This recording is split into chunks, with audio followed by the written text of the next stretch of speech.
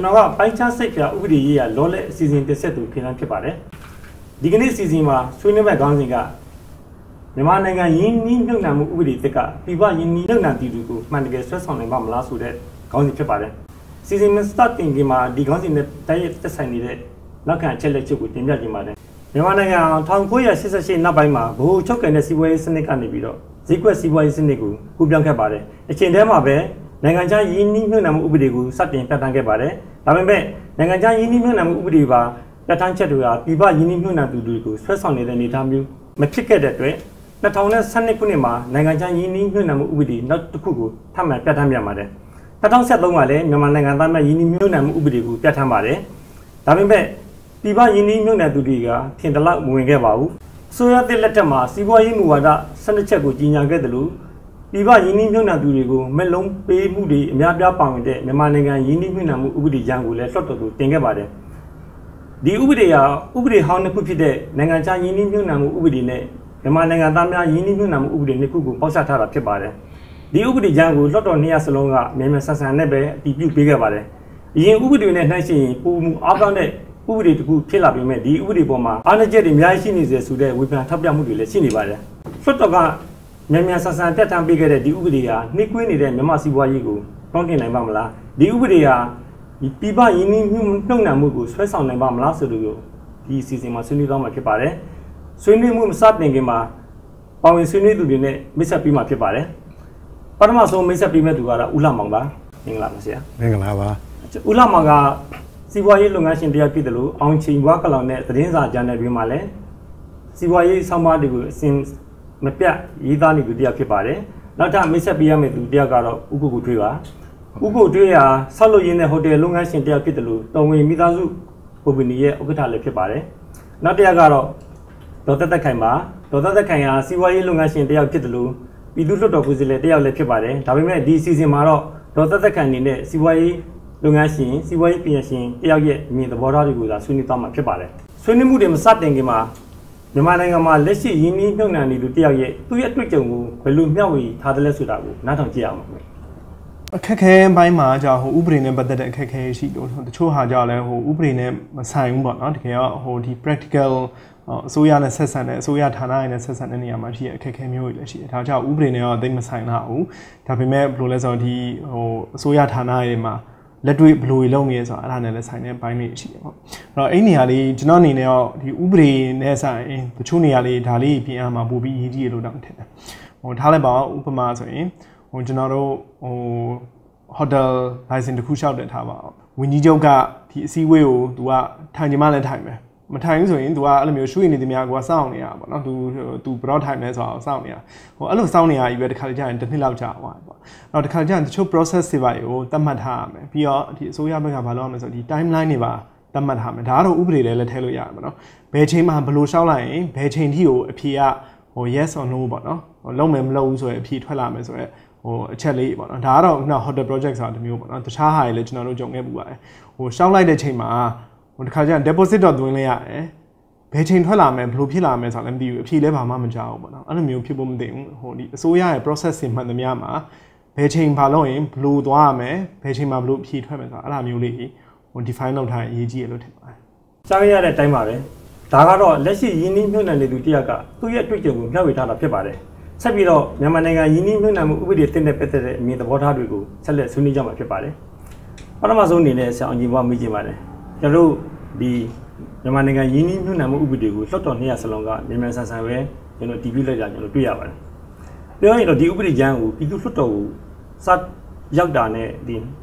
လွှတ်တော်200စလုံးကတည်ပြုလိုက်တာနဲ့ဂျာမာကာလာနှစ်ပတ်လောက်ပဲကျွန်တော်တို့ကြာခဲ့တယ်လို့ကျွန်တော်သိထားမိပါတယ်နောက်တစ်ချက်ကလည်းဒီဥပဒေကြမ်းကိုမြတ်ပြည်သူကြံပြုနိုင်အောင်လေးလာနိုင်အောင်ဆိုပြီးတော့သတင်းစာတွေမှာဖော်ပြခဲ့တာလည်းစုစုပေါင်း၃ပတ်လောက်အချိန်ရပါတယ်အဲ့တော့အချိန်တူတွင်းမှာတည်ပြုလိုက်တဲ့ဒီဥပဒေက ကျွန်တော်နှိကွင်းနေတဲ့မြန်မာစီပွားရေးကိုတကယ်ပဲတောင်းတင်ပေးနိုင်မှာမလို့ဆရာမြင်လာပါလားဆရာ ဒီဥပဒေဂျမ်းကိုเนาะအမှန်က2014ခုနှစ်ကုန်လောက်ခရဲကเนาะဟိုဗဟိုဘဏ်ရဲ့အကူကြီးနဲ့စတင်ရေးဆွဲခဲ့တာပါဘယ်လိုလဲဆိုတော့ဒီနိုင်ငံသားယင်းနှိမ့်မြုံနှံမှုဥပဒေနဲ့နိုင်ငံခြားသားယင်းနှိမ့်မြုံနှံမှုဥပဒေနှစ်ခုကိုပေါင်းစပ်ဖို့ unify လုပ်ဖို့ဆိုပြီးတော့ ဆွေးနွေးခဲ့တယ် နော်ကျွန်တော်လည်းပါဝင်တက်ရောက်ခဲ့မှုပါတယ်နော်အဲ့ဒီဟာကကြာသွားတယ်ပေါ့ပြောကြစို့ဆိုလို့ရှိရင်နှစ်နှစ်လောက်ကြာသွားတယ်အဲအဲ့ဒီလိုကြာတော့အခုဟာဘာဖြစ်လာလဲဆိုတော့အစိုးရအသစ်တက်လာတယ်အဲ့တက်လာတဲ့အစိုးရအသစ်က6လတာပြည့်သွားတယ်ယင်းနှိမ့်မြုပ်နှံမှုကပြည်တွင်းရောနိုင်ငံခြားရောနော်ထင်သလောက်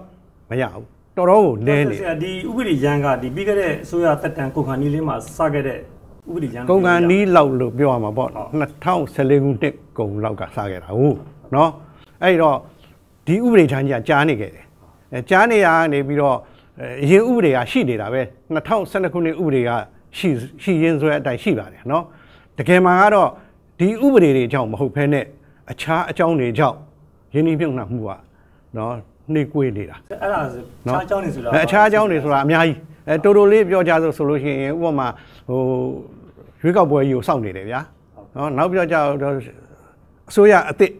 ဘယ်လိုနေမလဲဆိုတာစောင့်နေဗျာလျှက်စစ်ဓာတ်အားပေးတွေလုံလောက်မှုရမလားမှန်ကန်မှုရမလားစောင့်နေတယ်ဗျာ infrastructure တွေစောင့်နေဗျာနော်စောင့်စရာတွေအများကြီးပေါ့အဲ့ဓာတွေကြောင့်ရင်းနှီးမြှုပ်နှံမှုကနေကွေးနေပါနေတာဖြစ်ပါတယ်ပထမဆုံးဟို1988ခုနှစ်ဥပဒေတုန်းကဆိုလို့ရှိရင် 15ခန်းနဲ့ပဲရှိပြီးတော့เนาะပုံမှန်32ခုတည်းပဲရှိတယ်နောက်2012ခုနှစ်ကျတော့အခန်း20လောက်ပဲရှိပြီးတော့အဲ50 20ပဲရှိပြီးတော့ပုံမှန်ပေါင်း58ခုပဲရှိတယ်အခုကအခန်း23ခန်းနဲ့ပုံမှန်တွေကအများကြီးရာချီရှိတယ်အဲ့ဒီတော့နည်းနည်းပါးပါးဟိုရှေ့နောက်မညီတာတွေထပ်ကုန်တာတွေเนาะ sequence မကြတာတွေအများကြီးတွေ့ရတယ် နော်အခုကျွန်တော်တို့တကယ်ပြောမယ်ဆိုအဲ့ဒါတွေသုံးတာအများကြီးတွေ့ရတယ်အဲ့တော့အားနေတယ်လို့လည်းပြောနိုင်တယ်ပေါ့ဒါပေမဲ့ခုနပြောတဲ့ဟိုနိုင်ငံသားတွေ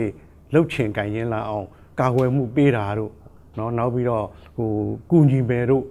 ဟိုမြန်မြန်လုပ်ပေးမယ်ဆိုတာတွေကလည်းကောင်းပါတယ်ဒီကြားထဲမှာဆိုးတာကဘာလဲဆိုလို့ရှိရင်တချို့ဟာကြောက်စရာကောင်းလောက်တဲ့အခန်းမှာခေါင်းစဉ်ကြီးသွားတွေ့ရတယ်ဘာကောင်းလဲဆရာအစိုးရကယင်းဒီမြုပ်နှံမှုကို တိတ်စီခြင်းဆိုတဲ့ခေါင်းစဉ်ကြီးနဲ့တော့ဖော်တယ်အရင်ဥပဒေနှစ်ခုစလုံးမှာအာမခံခြင်းဆိုတဲ့နော် guarantee ဆိုတာ ਨੇ ပြည်သူပိုင်းမသိဘူးပေါ့ဗျာအဲ့လိုဟိုအစိုးရမသိဘူးအခုကအစိုးရသိမ်းခြင်းဆိုတဲ့ခေါင်းစဉ်ကြီးနဲ့ဟုတ်ကဲ့ပုံမှန်တွေအများကြီးသွားဖော်ပြတော့ကြောက်စရာကြီးဖြစ်သွားအဆိုတာဒါဆိုရင်ဒီဥပဒေမှာလည်းကျွန်တော်အားနေချက်တွေအာများအာဏာချက်ကပြောချင်တာပေါ့ကြီးကြီးကျယ်ကျယ်ကြီးရှိတာကျွန်တော်မိကွန်းတစ်ခုကိုဥက္ကုတွေးမေးချင်ပါတယ်ကျွန်တော်ဒီဥပဒေကိုလေ့လာလိုက်တဲ့ခါကျတော့ ဒီမြေအသုံးပြုမှုပေါ့နော်အဲ့ဒါကနိုင်ငံခြားယင်းနှိမ့်မြုံသူတွေဟိုကျွန်တော်ကနေဦး250ပေါ့နော်နောက်ထပ်တော့10နှစ်10နှစ်ဆိုတာ290ဒီကျွန်တော်ခွင့်ပြုတာတွေ့ရတာပေါ့ဒါပေမဲ့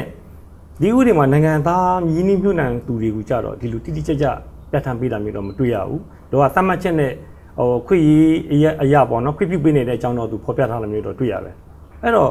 နိုင်ငံသားလုပ်ငန်းရှင်တွေချွတ်တွဲတာတိကျမှုမရှိတဲ့ပြဋ္ဌာန်းချက်တချို့တွေပါနေတယ်ဆိုတာလည်းဝေဖန်ကြပါတယ် ဒီချက်ပေါ်မှာတော့ဆရာနိုင်ငံသားစီးပွားရေးလုပ်ငန်းရှင်တယောက်အနေနဲ့ဘယ်လိုမှတ်ချက်မျိုးပေးခြင်းလဲဆရာမမကတော့ကျွန်တော်တို့နိုင်ငံသားနဲ့နိုင်ငံသားနဲ့ဆိုရင်တကယ်တမ်းတော့ကိုယ်နိုင်ငံသားကိုဦးစားပေးရမယ်လို့နိုင်ငံသားတိုင်းရဲ့ခံယူချက်ရှိပါတယ်ဟုတ်ကဲ့အဲ့တော့ဘာဖြစ်လို့လဲဆိုတော့ကိုယ်နိုင်ငံမှာလုပ်နေတဲ့စီးပွားရေးလုပ်ငန်းရှင်တွေမလုပ်နိုင်တဲ့အလုပ်ကိုနိုင်ငံသားတွေဝိုင်းကူလုပ်တာဟာဒါရင်းနှီးမြှုပ်နှံမှုခေါ်တယ် ဟုတ်ကဲ့ကိုယ့်အကိုလုံနိုင်တဲ့လုပ်ငန်းတွေကိုနိုင်ငံသားတွေလာလုပ်ဆရာမအကြောင်းမရှိဘူး။အဲ့တော့ကိုကမလုံနိုင်တဲ့ကိစ္စကဥပမာဆိုပါစို့ကျွန်တော်တို့ယင်းနှိမ့်မြုံနှံမှုအတွက်ငွေချေးဟလာ financial problem တွေအများကြီးရှိတယ်ဟုတ်။အဲ့တော့ financial institute အားနည်းနေတဲ့ကျွန်တော်တို့နိုင်ငံကိုနိုင်ငံသားကကျွန်တော်တို့ငွေငွေချေးယင်းနှိမ့်မြုံနှံမှုတွေအများကြီးလုပ်နိုင်အောင်ကျွန်တော်တို့ကဖိတ်ခေါ်ချင်တာပေါ့ဟုတ်။အဲ့ဒါတွေကိုတော့ကျွန်တော်တို့ဘက်က ဟိုတေးကြလုံးမပေးဘူး။အဲ့တော့လုံးမပေးတဲ့အတွက်နိုင်ငံသားနဲ့ရှင်တဲ့အခါမှာနိုင်ငံသားကသူတို့ငွေကြီးလွယ်လွယ်ကူကူချိလို့ရတယ်ဟုတ်လား။ဥပမာဆိုပါဆိုတချို့ဆိုလို့ရှိရင်ဟုတ်လား less than 1%နဲ့သူတို့ရမယ်။ကျွန်တော်တို့က40%နဲ့လုပ်ပါအဲ့ဒါဆိုရင်တော့ fair play မဖြစ်ဘူးဟုတ်ကဲ့။နောက်တစ်ခါကျွန်တော်သူတို့ကိုကြတော့290ဟုတ်လားဟုတ်ကဲ့50 30 50 30 30ပေးထားတယ်။နိုင်ငံသားကြတော့မပေးဘူးဟုတ်ကဲ့မပေးဘူးလို့ဘာဖြစ်လို့ ကျွန်တော်တို့ဒီထဲမှာကတ်တတ်ထားတာလဲဟုတ်ကဲ့ကတ်တတ်တာတော့မပါပါဘူးသူမပေးဘူးဆိုတော့မဟုတ်ဘူးသူကခွင့်ပြုချက်ပေးနိုင်တယ်လို့ပဲပါတယ်နိုင်ငံခြားသားယင်းနှိမ့်မြုံသူလို့တိတိကျကျပြဋ္ဌာန်းထားတာမျိုးမရှိဘူးဒီကြကြမပြတ်ထားတဲ့အတွက်ပေးချင်မှပေးမယ်ဆိုတဲ့သဘောဟုတ်တယ်ပေးချင်မှပေးမယ်ဆိုတော့ဥပဒေပြတ်ထားတာတော့မှကျွန်တော်တို့ပြီးခဲ့တဲ့ခုနှစ်လုံးကဟိုနိုင်ငံသားဥပဒေမှာတော့ပြဋ္ဌာန်းထားပေမဲ့လည်းဟိုနိုင်ငံသားတွေကြတော့ ဟိုတာဝန်ရှိတဲ့လူတွေရှိဝင်လို့ထွက်လို့လည်းလွယ်တယ်ဟလာပြောရလည်းလွယ်တယ်နိုင်ငံသားတွေဆိုရင်တွေ့ဖို့ဆိုရင်တော်တော်ခဲရင်တယ်ဟလာနိုင်ငံသားလုပ်ငန်းရှင်တွေကဟိုအရင်တော့လည်းခဲရင်သလိုအခုဆိုရင်တော့ပိုဆိုးလာတာဟုတ်ကဲ့ဟုတ်အဲ့ခါကျတော့နိုင်ငံသားလုပ်ငန်းရှင်တွေဟာဟလာအခွင့်အရေးကနိုင်ငံသားလောက်တောင်မှအခွင့်အရေးမရတော့ဘူးဆိုလို့ရှိရင်ဒါကျွန်တော်တို့နိုင်ငံရဲ့ဥပဒေတွေကဟိုမမျှတာတော့ဘူးဖြစ်သွားတာဟုတ်ကဲ့အဲ့တော့နိုင်ငံသားတွေကိုဦးစားပေးရမယ်လိုအပ်ချက်ရှိရင်ဖြည့်ဆည်းပေးရမယ် ဟိုငွေကြေးလိုအပ်ချက်ရှိရင်ငွေကြေးဖြည့်ဆည်းပေးရမယ်ကျွန်တော်တို့နည်းပညာလိုအပ်ချက်ရှိရင်နည်းပညာတွေဖြည့်ဆည်းပေးမယ်ဟုတ်လားဒီလိုဖြည့်ဆည်းပေးမှသာကိုယ်နိုင်ငံသားနိုင်ငံသားတွေရဲ့ဟုတ်လားစီးပွားရေးတွေကတကယ်ခိုင်ခိုင်မာမာရှိလာမှာနောက်မိကွန်တစ်ခုတော့ကူတော့ဒေါက်တာသက်ခိုင်ကိုမိချင်ပါတယ်အခုအားလုံးသိတဲ့အတိုင်းပဲနော်လက်ရှိချင်းတွေကကျွန်တော်တို့နိုင်ငံရဲ့ငွေကြီးဖောက်ပွားမှုကတော်တော်လေးကိုမြင့်တက်နေတယ်ပေါ့နော်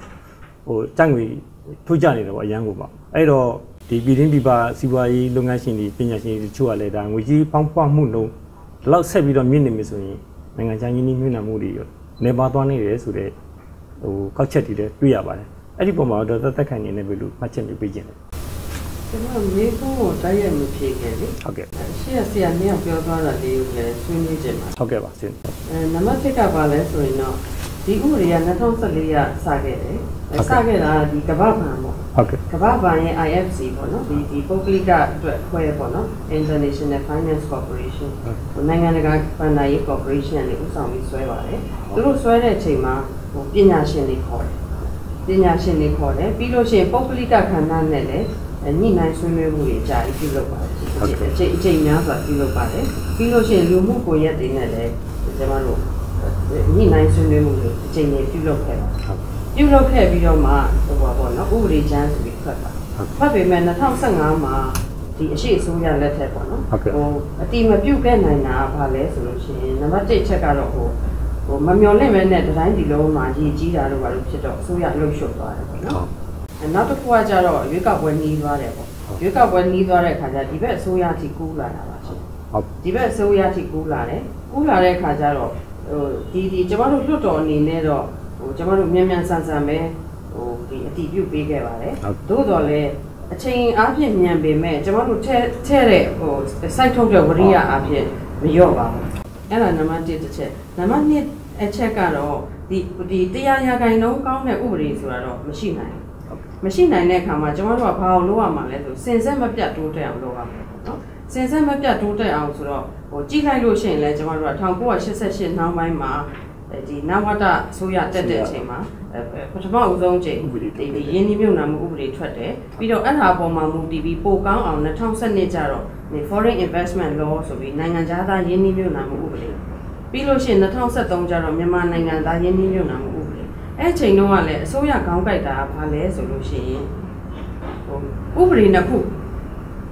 ခွဲထားတဲ့အခါကျတော့နိုင်ငံသားသားကိုတတ်တတ်ဟို နိုင်ငံသားများနနိုင်ငံသားများကိုတတ်တတ်ဆိုပြီးတော့မှလုပ်တဲ့အချိန်မှာအခွင့်အရေးတွေမတူညီဘူးလို့ဒါဒါပြောခံရတဲ့ဥပဒေတို့ပါပေါ့နော်ဒီအကြောင်းချက်တွေရှိခဲ့တယ်ဆိုတော့ပြီးတော့နိုင်ငံတကာရဲ့ဒီကနိုင်ငံတကာဒီ international best practice ကိုကြည့်ရင်ဒီနိုင်ငံသားဒီနဲ့နိုင်ငံသားနဲ့ဟိုကိုဒန်းတူရည်တူအခွင့်အရေးပေးထားတဲ့နော်ဥပဒေတစ်ခုတည်းရှိကြတာကိုတွေ့ရတယ်ပေါ့နော်ဥပမာကျမတို့အနည်းဆုံးပြောရင်အာဆီယံပါ အာဆီယံလို့ပြောလို့ရှိရင်ကျမတို့တတိုင်းပြည်ပဲကျမတို့တနိုင်ငံပဲအဲဒီဥပဒေရင်းရင်းနှီးမြှုပ်နှံမှုဥပဒေနှစ်ခုကွဲနေတာကိုတွေ့ရတယ်ဆိုတော့အခုချိန်မှာတော့ကျမတို့ကပေါင်းနိုင်နိုင်ပြီဟိုကျမတို့မေးတဲ့မေးခွန်းနဲ့ပတ်သက်လို့ပေါ့နော် inflation နဲ့ investment ဘယ်လိုဆက်ဆက်လဲဆိုတာလေးဆိုတဲ့အခါကျတော့ investment နေရတော့ကျမတို့ကဝင်လာဖို့လိုတယ်အဲ့ဝင်လာဖို့အချက်ကကျမအရှိရပြောသွားသလိုပဲ ဟိုအချက်တွေအများကြီးနဲ့ဆိုင်တယ် inflation နဲ့တော့တိုက်ရိုက်ဆိုင်တာမျိုးတော့မဟုတ်ဘူးပေါ့နော် inflation rate ကတိုင်းပြည်တစ်ခုမှာဘယ်လောက်ရှိလဲဆိုလို့ရှင်ဒီတိုင်းပြည်တစ်ခုရဲ့ငွေကြေးရဲ့တန်ဖိုးကိုဖော်ပြတာဖြစ်တယ်ပေါ့ဆိုတဲ့ခါကျတော့ကျမတို့ကဒါဥပမာအနေနဲ့ကျမတိုင်းပြည်နှစ်ခုကိုရှင်းပြီးပြောချင်ပါတယ်ရှင်ဥပမာစင်ကာပူလိုမျိုးမှာသူ့ရဲ့ currency ပေါ့နော်ငွေကြေးတန်ဖိုးကတိတ်မြင့်လာတဲ့အချိန်မှာတိုင်းပြည်တစ်ခုလုံးရဲ့ဒီစီးပွားရေးပြိုင်ဆိုင်နိုင်မှု competitiveness အခြေအနေကျသွားပြီးတဲ့အခါကျတော့နော်တရုတ်လိုမျိုး နော် inflation ဟိုဒီတရုတ်လိုမျိုးပေါ့နော်ဒီငွေကြေးတန်ဖိုးချထားတဲ့အချိန်မျိုးမှာကြတော့ investment တွေအတွက်ကိုဟိုလာရတာကောင်းတယ်ပေါ့နော်အဲ့ဒါကြောင့်မို့လို့ဒီဒီတရုတ်တနိုင်ငံလုံးရဲ့ဒီ competitiveness တက်တယ်ပေါ့နော်အဲ့ဒါကြောင့်မလို့တရုတ်မှာဆိုလို့ရှိရင်ဒီကျမတို့ wall factory လို့တင်စားရလာအောင်ပေါ့နော်တကဘာလုံးကစက်ယုံနေအဲ့ဒီမှာရှိကြတယ်ပေါ့နော်ဆိုလို့ရှိရင်ဒါကျမဟို အဲ့လိုလေးဥပမာပေးပြီးဖြည့်ချင်ပါအော်ဒါဆိုရင်ဆမပြောချင်တာကဒီ impression မြင့်တာက investment တွေအတွက်မတိခတ်စရာအကြောင်းသိပ်မရှိဘူးမရှိပါဘူးရှင်ဟုတ်ကဲ့ဟုတ်ကျေးဇူးတင်ပါတယ်အဲအခုဆွေးနွေးခဲ့တာတွေကတော့ကျွန်တော်တို့ဒီမြန်မာနိုင်ငံယင်းနှီးယင်းနှီးမြှုပ်နှံမှုဥပဒေတက်ကဒီပယင်းနှီးမြှုပ်နှံမှုဆက်ဆောင်နိုင်တော့နိုင်ပါမလားဆိုတဲ့ခေါင်းစဉ်နဲ့ပတ်သက်တဲ့သဘောထားမြင်တွေပါနောက်ပိုင်းမှာလည်းဒီကိစ္စနဲ့ပတ်သက်ပြီးဆက်လက်ဆွေးနွေးသွားမှာဖြစ်ပါတယ်လောလောဆယ်မှာတော့ဒီအစီအစဉ်အတွက်လူမှုကွန်ရက်ကနေပြီးပို့လာတဲ့မေးမြန်းချက်တွေတင်ပြချက်သဘောထားတွေကိုထုတ်လွှင့်သွားမှာဖြစ်ပါတယ်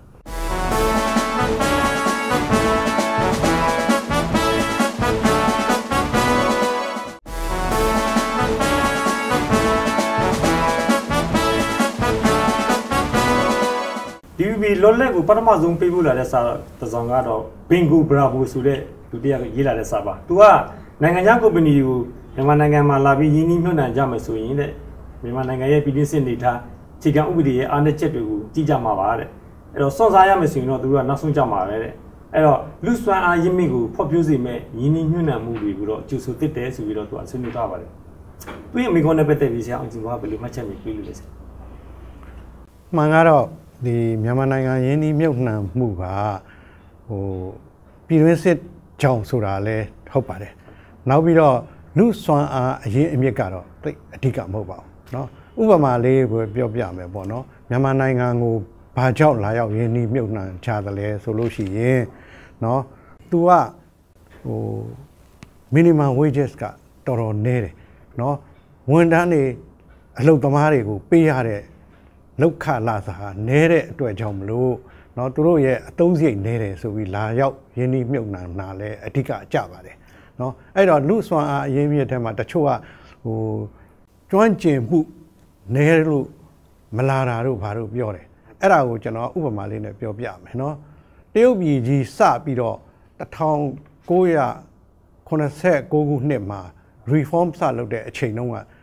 နော်တရုတ်ပြည်မှာစက်ရုံတွေတခါလဲ special economic zone တွေတအားကြီးလှုပ်လိုက်တဲ့အချိန်မှာအလုပ်သမားတွေလိုတော့လယ်သမားတွေအများကြီးအဲ့ဒီကိုလာပြီးလှုပ်ကြတယ်။ဘာကျွမ်းကျင်မှုမှမရှိဘူး။စက်ရုံတောင်မမြင်ဘူးတဲ့အလုပ်သမားတွေလာလှုပ်ပြီးတော့တရုတ်ပြည်ကြီးစီးပွားရေးတိုးတက်သွားပါတယ်။ဒါကြောင့် လူစွမ်းအားအရင်အမြစ်ထဲမှာနော် human resource management မှာနော်လူရဲ့ကျွမ်းကျင်မှုဆိုတာကတိတ်အရေးမကြီးဘူး။သင်ရရတယ်သင်တန်းထပ်ပို့ချရရတယ်။အဲ့ဒါကြောင့်လူစွမ်းအားအရင်အမြစ်ကအရေးမကြီးပါဘူးလို့ပြောချင်ပါတယ်ဟုတ်ကဲ့ပါအဲနောက်စာတစ်စောင်ကတော့ကျော်သက်စုဆိုပြီးရဲ့စာပါသူကလေယာမြေစက်ကြီးချီပြီးကုမ္ပဏီကိုတီထောင်ခွင့်ပေးရမယ်နိပညာပေးနေတဲ့ကုမ္ပဏီကိုဦးစားပေးရမယ်ဆိုပြီးတော့ကြံပြထားပါတယ်ပညာမတတ်အလုပ်လက်မဲ့ပညာတတ်အလုပ်လက်မဲ့တွေကိုပါ စကန်သွင်းပြီးတော့အလုပ်သမားပုံစံပြအောင်ပုံစံပြောင်းပေးရမယ်ဆိုပြီးတော့သူကဟိုထောက်ပြထားပါတယ်ပြောချင်တာကကျွမ်းကျင်လုပ်သားပြအောင်တွေးထောင်ပေးဦးပါ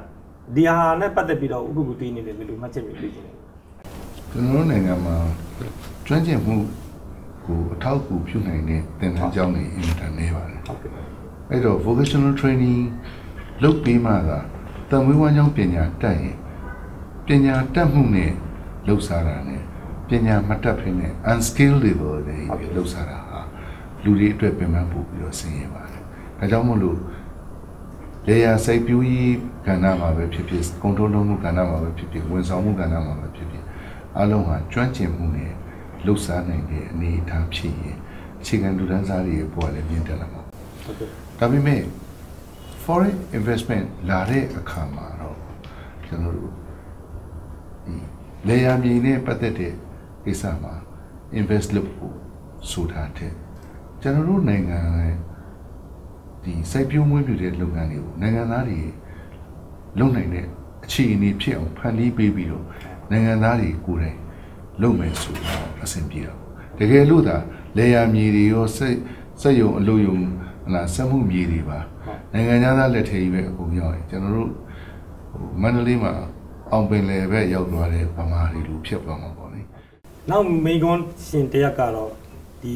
မြန်မာ debate education society ရဲ့ trainer ဒေါ်တတဆုဖြစ်ပါတယ်သူကနိုင်ငံခြားရင်းနှီးမြှုပ်နှံမှုတွေလာတာကောင်းတယ်ဒါပေမဲ့အဲ့ဒီ company တွေကသူတို့အကျိုးမြတ်ကိုပဲသူတို့ကြည့်ပြီးတော့လုပ်သွားမယ်ဆိုရင်ကိုယ့်နိုင်ငံပဲ social နစ်နာမှုတွေပဲဖြစ်နေမယ်တဲ့မူဝါဒတွေချမှတ်ပေးထားပေမဲ့ company တွေကလိုက်လာလိုက်နာမှုမရှိဘူးဆိုရင်ဘယ်လိုလုပ်မလဲဒါကိုအစိုးရကနေပြီးတော့စက်ကြီးအကဲဖြတ်ဖို့လိုတယ်ဆိုပြီးတော့သူကထပ်ပြတာပါတယ်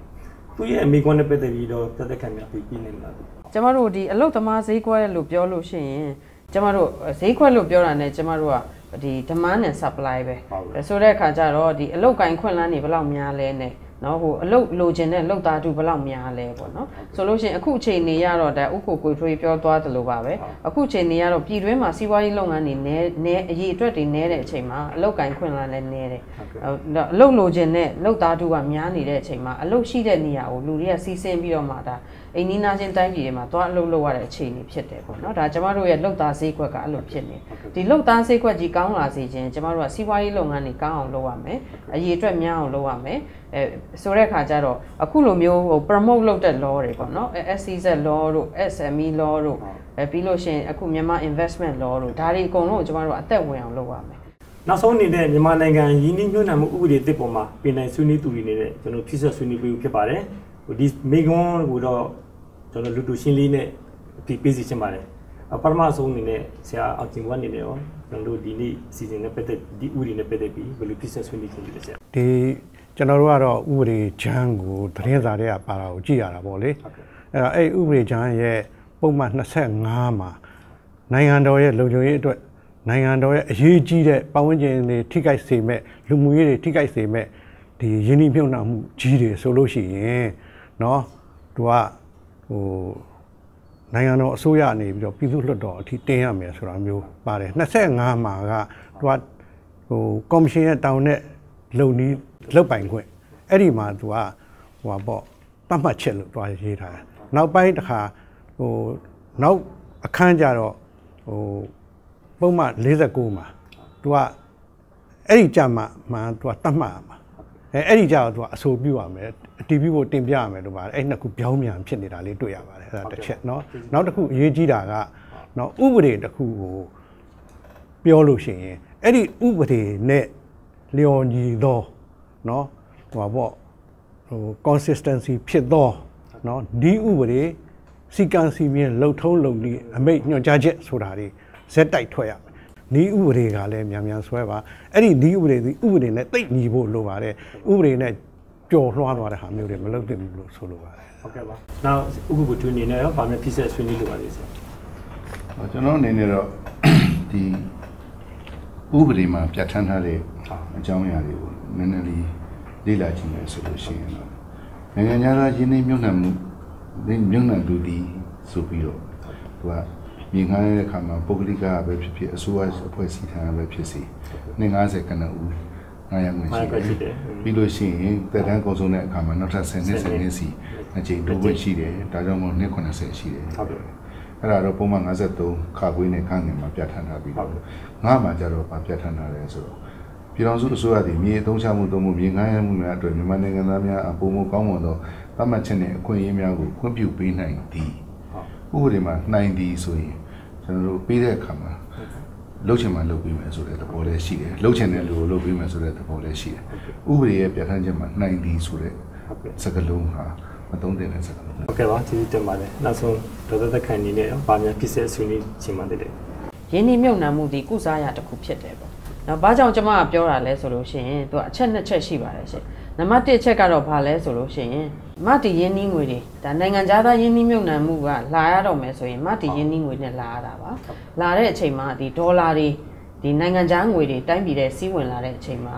မြန်မာငွေမလာနိုင်တယ်ပေါ့နော်ဒါ inflation ကျသွားနိုင်တယ် exchange rate တွေကျသွားနိုင်တယ်အဲ့ဒါတစ်ချက်ပါရှင်ဒါကတော့ဟိုချက်ချင်းတွေ့နိုင်တဲ့ဖြစ်နိုင်တဲ့ ဟိုဒီဒီအကျိုးအကျိုးတစ်ခုပေါ့နော်နောက်တစ်ခုကじゃရေရှည်မှာဘာဖြစ်လဲဆိုလို့ရှိရင်သူတို့တွေဒီကျမတို့စီမှာဒီစက်ရုံအလုပ်ရုံတွေလာပြီးတိဆောက်တဲ့အချိန်မှာဘာတွေရောပါလာမလဲဆိုရင်ဒီနည်းပညာတွေစီးဝင်လာမယ်ပြီးလို့ရှိရင်သူတို့ရဲ့စီမံခန့်ခွဲမှုစနစ်ကောင်းတွေကျမတို့စီရောက်လာမယ်ပြီးကျမတို့လူတွေအလုပ်ရမယ်အလုပ်ရရင်းနဲ့မှခုနကလိုလုပ်ငန်းခွင်ထဲမှာကျမတို့ကဒီလူလူသားအရင်မြစ်ပေါ့နော်လူစွမ်းအားအရင်မြစ်တွေ ကိုတိုးတက်အောင်ကျွန်တော်တို့လုပ်နိုင်မယ်ဒီဒီ skill ဟို transfer တွေ knowledge transfer တွေကျွန်တော်တို့ရလာမယ်ပေါ့နော်အဲ့လိုရလာပြီးတော့မှကျွန်တော်တို့ရေရှည်မှာဒီ productive productive ဟိုပါပေါ့နော်ဟို productivity ကောင်းကောင်းနဲ့ကျွန်တော်တို့တကယ်တမ်းတာထုတ်နိုင်လို့ရှိရင်ဘာဖြစ်လာမလဲဆိုရင်ကျွန်တော်တို့ export ပြန်လုပ်လာနိုင်မယ်ဟုတ်ကဲ့အဲ့ဒါလေးကိုကျွန်မဖြည့်ဆွက်ပြီးတော့ဆွေးနွေးချင်ပါတယ်ဟုတ်ကဲ့ပါကျေးကျေးဇူးများတင်ပါတယ် အဲ့တော့ကျွန်တော်တို့ဒီကနေ့ဒီယင်းနှီးမြှုပ်နှံမှုဥပဒေတင်တဲ့ပတ်သက်ပြီးတော့ဆွေးနွေးကြတဲ့အားတွေကကျွန်တော်သဘောထားမြင်နေအားရစရာကောင်းပါတယ်နှိမ့်ချုပ်ရမယ်ဆိုရင်တော့ကျွန်တော်ချက်၅ချက်လောက်ရပါတယ်ကျွန်တော်ဆွေးနွေးကြတယ်ပေါ့နော်ပါရမတစ်ချက်ကဟိုဆရာဦးလမောင်ဆွေးနွေးထားတယ်လို့ပဲကျွန်တော်ဒီဥပဒေကတည်ပြုတာမြန်ဆန်တယ်ပုံမှန်လေးလည်းများတယ်ပေါ့နော်အဲနောက်တစ်ချက်ကတော့ဥပဒေတွေဆွေးနွေးကြတဲ့မှာပါတယ်ဒီနိုင်ငံသားလုပ်ငန်းရှင်တွေကိုဦးစားပေးတင်တယ်နောက်တစ်ခုကဇမဆွေးနွေးကြတဲ့ထဲမှာပါတဲ့တဲ့ဥပဒေကိုစစ်စစ်မပြတူတဲ့အောင်လုပ်ရမယ်ပေါ့နော်ခွန်တဲ့ပေါ်လေလို့တော့ပေါ့ နောက်တစ်ခုကကျွန်တော်တို့နိုင်ငံသားတွေအလုပ်ကံရဖို့အတွက်ဒါအသမီးဝန်ထမ်းပညာရေးကျွမ်းကျင်ဖို့လိုတယ်နောက်တစ်ခုကငွေကြေးဖောက်ဖွက်မှုကြောင့်ကျွန်တော်ဒီရင်းနှီးမြှုပ်နှံမှုကိုမတိခိုက်ဘူးဆိုတဲ့ကောက်ချက်တွေပေါ့ကျွန်တော်အချက်၅ချက်ရပါတယ်အဲ့တော့ဟိုကျွန်တော်တို့ဒီနေ့ပိုင်းခြားစိတ်ပြဥပဒေရေးရလောလက်စီစဉ်ကိုဒီမှာနှိကုချုပ်မှာဖြစ်ပါတယ်ပြီးတော့ဒီ season မှာဆွေးနွေးလို့ရတဲ့နှစ်ချုပ်တွေကိုလည်းကျွန်တော်တို့ဥပဒေပြုရေးမှန်တယ်ကိုကျွန်တော်တို့လက်ဆင့်ကမ်းသွားပြီးမှဖြစ်ပါတယ်ဒီ season နဲ့ပတ်သက်ပြီးတော့ဆွေးနွေးလို့တာအကြံပြုဝေဖန်ခြင်းတာ ဆိုဒါတွေကိုရှိမယ်ဆိုရင်ကျွန်တော်တို့ပိုင်ချစိတ်ပြဥပဒေရေးရလောလက် season ရဲ့လူမှုကွန်ရက်ရဲ့စာမျက်နှာဖြစ်တဲ့ facebook.com/dvb လောက်လက်မှာဝယ်ရရေးသားနိုင်တယ်လို့ Viber နံပါတ်3999 4425 4239ကိုလည်းဆက်သွယ်နိုင်ပါတယ်